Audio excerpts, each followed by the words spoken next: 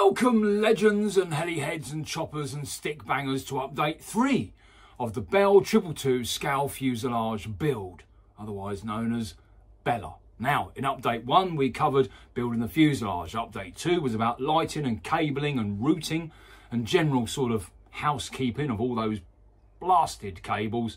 And this update, update three, is the final bit of the story with regards to the retracts. Uh, if you haven't seen that video that I've done in between update one and update two, you can see it up there. But uh, if you follow that video, then you'll ultimately, you'll ultimately save yourself a whole world of skull crushing hurt care of Funky. Ah!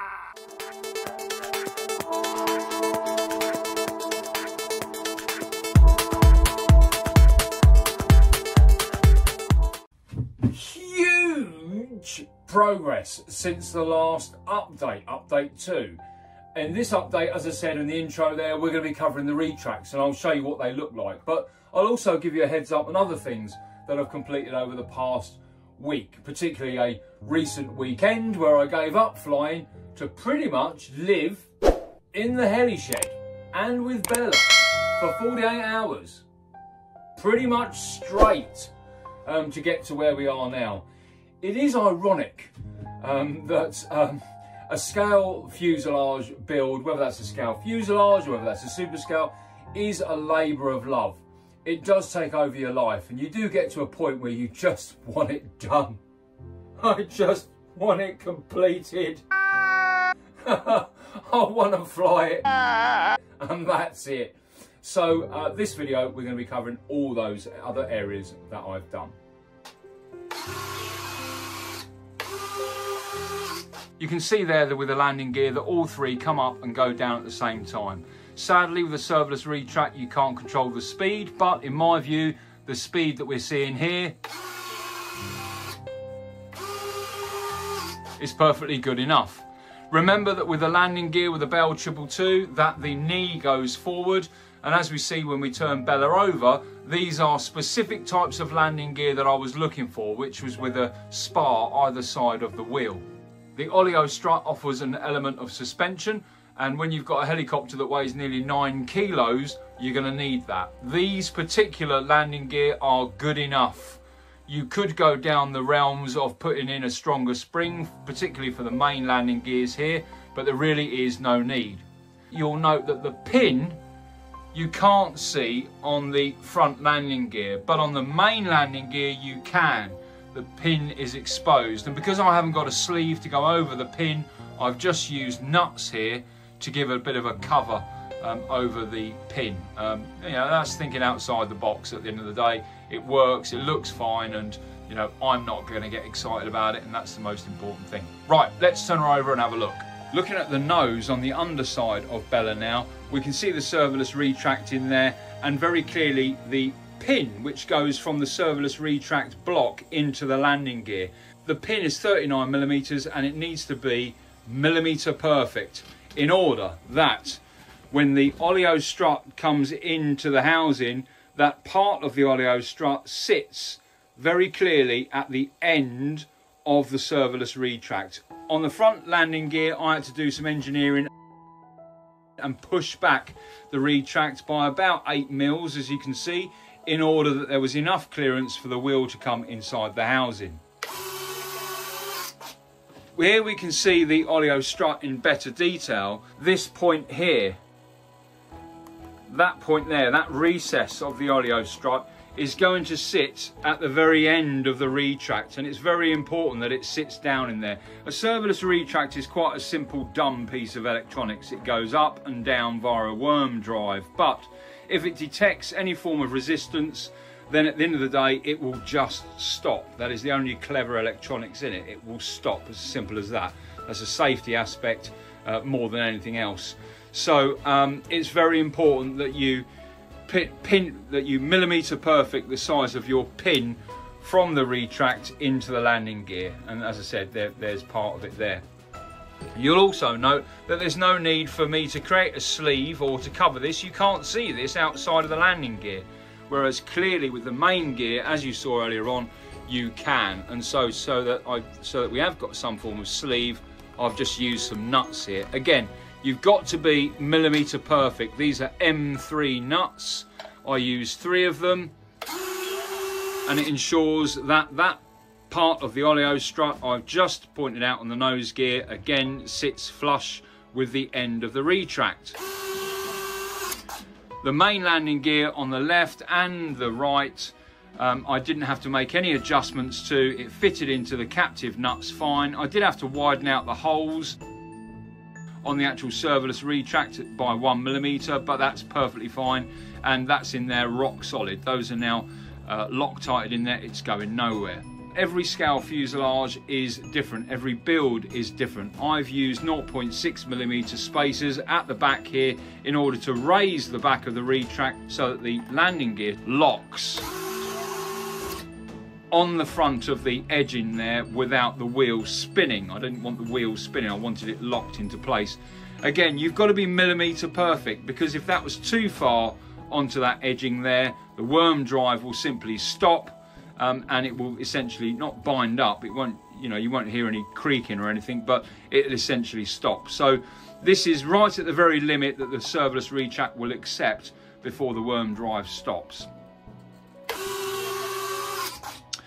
Finally, the edging that I've used there is as a result of my own mistakes from all the different videos that I've done, all the different attempts that I've done with different size landing gears.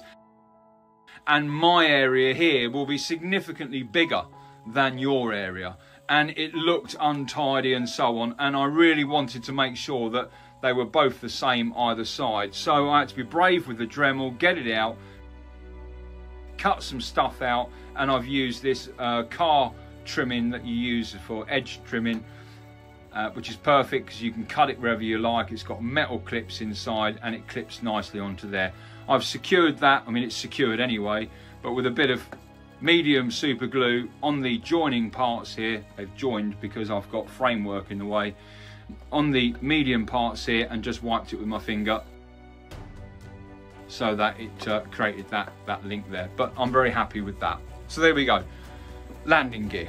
The other thing about the wheels, guys, is that I wanted to make sure that the wheels, apart from it being an oleo strut with the knee shape there, that the spar was either side of the wheel for all three.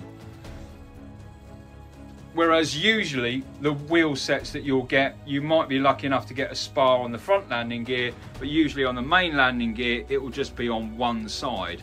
And so um, it was important to me that at least the landing gear not only looked semi-scale but looked right and on the Bell Triple Two it looks right because it is right uh, that the spar is either side so that's why I was quite picky when it came to the landing gear. Right let's turn her back over and let's have a very quick run through on the other things that I've done before we sum up. Now believe it or not that is total, absolute, abject chaos. In there one thing you've got to understand and accept from the word go that no plan survives first contact with the enemy. You waste a lot of people up there with your fucked up fire mission. That means no matter how good your plan is, when it comes to building it, you've got to be flexible and adaptable to change. And I had to do that several times on this build. I won't go the through the intimacies um, of the cabling and so on. It's pretty obvious, and you've there is a cabling video up there where I explain what I was doing. But essentially, I'm very happy with how we things how we've got things now. The ESC mounted, I'm very happy with where that is. I did, by the way, change the fan so that was level. You'll note that I've only got one battery in here at the minute, but it fits two batteries very nice and neatly either side with the Velcro here. This Velcro is very high bonding Velcro the batteries aren't going anywhere and in scale flight there's absolutely no need providing you're using decent velcro decent hook and loop tape there's no need for you to strap them down. I've put two batteries in here turned this helicopter upside down put it above my head and shook it violently for a minute and nothing came out and these batteries didn't move. So you know what? That's good enough for me the glass is now in and there should be some pictures up now which shows you how I've done that um, and when I do a summary video I'll cover that in more detail. I've also tactically put some holes which I'm going to mark up with some stickers and decals which masks the fact that they're holes on purpose, which actually means that I can fit the boom with the main frame in place. Um, I haven't got to remove the main frame. I can simply put my two and a half inch drive, 2.5 mil drive through these holes and they fit the nuts on the other side perfectly. This means that, you know, when I'm maintaining Bella, I can put the mechanics in, I can bolt her in, line her up and she's in. She hasn't got to move again. I haven't got to mess around with the with the tail and the torque tube, which you'll see is absent from her at the minute. She's got a new one coming and I'm expecting that tomorrow. There were other things that I, that I also have done. I've created some side, you can see here, this uh, piece of aluminium here comes out of the frame, hooks onto the, uh, ties into the frame, comes underneath the main top part of the uh, of the fuselage here and underneath there I've got a captive bolt that I've epoxied in and I'm able to bolt this down. This means that you know in when when Bella is taken off she is taking off and taking the fuselage with her via several points firstly these two side points ensure that the fuselage is lifted correctly and where Bella moves left and right the fuselage moves with her and she's bolted in well over the top underneath. Glass was easy to put in. Um, in hindsight, now I've done it, I wouldn't have used hot glue on the inside. I would have used super glue, which uh, is recommended, but I used hot glue. The bottom line is, can you see it? No. It's only actually until you get into sort of there where you see the sort of hot glue. And if you're not very good at hot gluing, like I'm not, then it can look a bit of a mess. But one thing I have um, become better at is hot gluing. I can tell you that. Um, where I used to just splurt it everywhere. Now, um, you know, I'm like a fine artist with it. Um, although you wouldn't notice. I'm very happy with the cabling inside. I'm happy with how neat it is. I'm very content with um, taking Bella in and out and servicing her. I did have to make some additional adjustments to the uh, doghouse so that the swash cleared and the arms cleared etc but I'm very happy with that is now I'm going to be using savage in around here so that uh, it looks nice and neat etc and as I said in a previous video I moved the navigation light to the back here I've got to do the torque tube and fit that in. I've got to put the head back on and sort that out. I've got some stickers coming. I'm going to plaster that all over her. Oh, and of course I fitted a new light at the bottom here a spotlight, which I think looks very well. It's from a radio control car, not very powerful, powerful enough for me to see in the sky, and I can angle it, etc. if I wanted to be all scale about it. But I'm very happy with uh, how that looks and how that works. So this is worthy of a video on its own, but I'm not going to do that. I'm going to summarise very simply by saying the windscreen comes in two parts. I've created a single part by epoxying a carbon strip down the middle there and as you can see I've used a a, um, a little um, uh, servo carbon bracket servo bracket there which I've epoxied in place and that has a nice little handle. And it doesn't look that far off. I mean it looks in place. You don't know what you're looking at. Um, but that's a nice little handle for me to lift up and down. This means that then the windscreen is one piece of glass which enables me as you can see here to create my own captive system which basically slides these little arms over the windscreen and ensures that the windscreen isn't going to go anywhere. And this means that I can access the front of my helicopter, the front of Bella. I can access her um, and uh, mess around with the electronics, etc. And obviously fit batteries, change them out or whatever. Um, and this windscreen isn't going to go anywhere. The sound module I fitted at the back and you can see that the sound module is fitted against the against the side of the fuselage there with both 8 watt transducers mounted to this side via hot glue mounted to the side of the fuselage at the back here. I think I spent about three hours three hours continually going over the sound file um, and moving these transducers inside the body of the uh, helicopter to get the best sound effect. Transducers work on vibration, so they should be faced towards uh, the fuselage, not the other way around. Everyone does transducers the other way around. They look at transducers as speakers. They're not speakers. They produce vibration, and the vibration then goes into the body of whatever it is it's touching, and that becomes the speaker. So essentially, Bella's speaker is her whole fuselage. Now, in radio control helicopters, we don't like vibrations on this. This little thing doesn't like vibrations. Um, and in general terms, you know, helicopters and vibrations don't get on. And this is why I spent so much time as I did in mounting Bella on the foam, on the plywood, on foam. She is completely and utterly separate and separated from the fuselage. Even on the arms here, where the alloy arms come out, underneath there, there is some foam um, before the captive nut and I've played the sound file over and over again and there isn't any vibrations coming into to Bella. I could have that, that sound system on constantly and fly her and she'd be fine.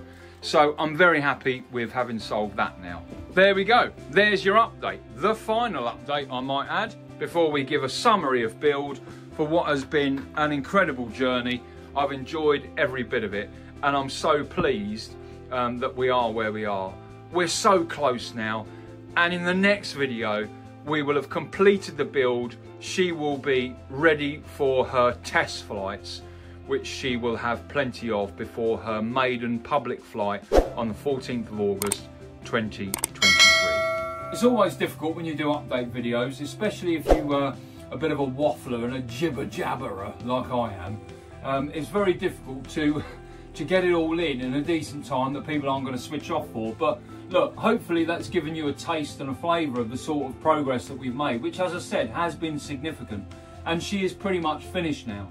In the next video, the final video, we will conclude with a summary of the build, some top tips, some tools that I just couldn't have done without, and uh, there is no way that you could do a scale fuselage without those tools.